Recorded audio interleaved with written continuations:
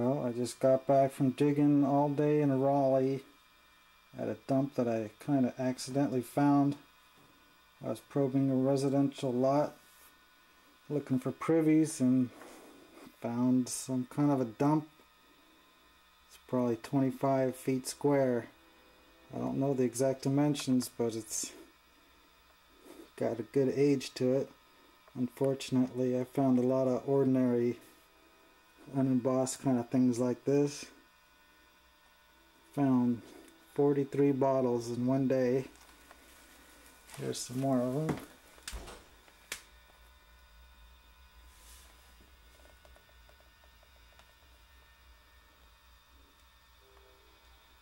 It was actually in the same spot I found the 12 broken dispensary flasks last time and I didn't find any broken ones this time. But I definitely found a lot of broken straight-sided Cokes. Here's a few of them that I brought back. Not one perfect one, but there must have been 25 broken ones of these. And they're from Atlanta for some reason. I guess before Raleigh had its own Coke plant, they had cases shipped all the way from Atlanta. 25 of these.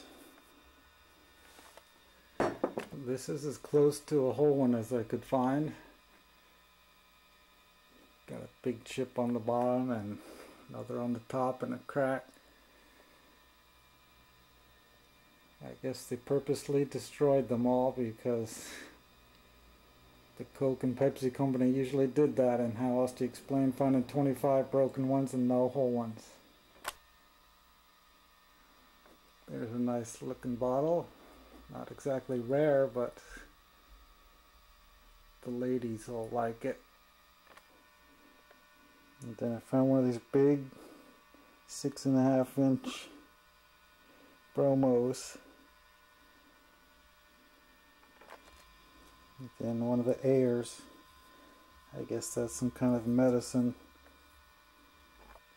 I did find a hutch, but it's very common and it's damaged.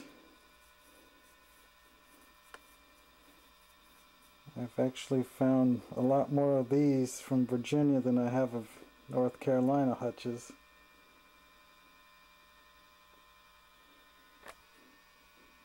Here's some kind of early condiment bottle. At least it has a little bit of color. Here's another condiment bottle. This could be the best bottle of the day. I've never found one of these before. It's a nice shape.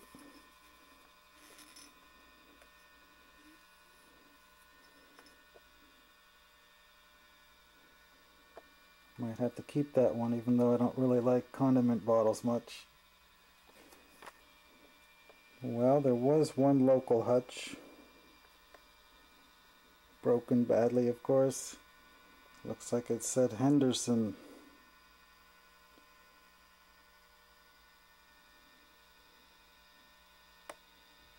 Probably would have been worth a couple hundred dollars. Then I found three of these peptonoids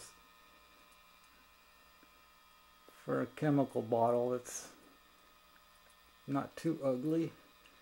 Unfortunately, one of them dropped out of the ceiling and a rock hit it at the same second and smashed the bottom of it out.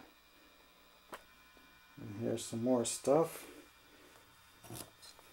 I was hoping that was going to be a dispensary flask, but no luck this time. Here's a New Brunswick. I don't know why that would be over here. This is just a plain blob top, but it's got a nice color to it.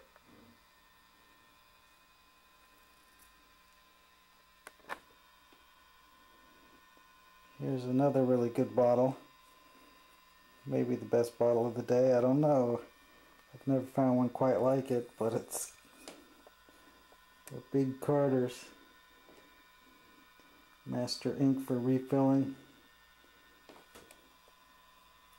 Gonna turn purple. Has a patent date, 1899. Don't know how come that didn't get broken, but I'm glad it didn't. Oh, I almost forgot I found a couple of these too. Round bottom sodas with a really fat top on them. Unfortunately, they don't say anything.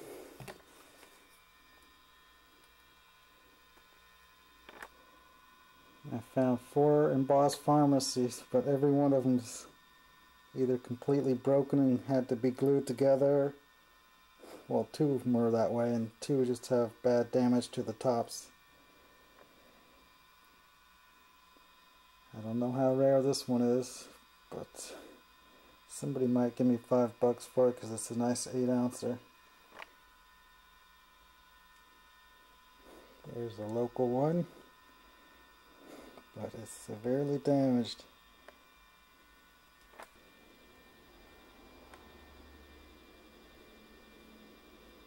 I guess somebody was visiting from Knoxville and brought this with them. Unfortunately, it has some damage, but it's another big 8 ouncer. And as usual, I saved the best for last. I'm assuming this is the best. I don't know the true dollar values on everything here. But it just seems like a rare one. It's another 8 ouncer. Got an old shape to it. Has a lip chip on the back side. So it still displays good. Well, that's it till next time.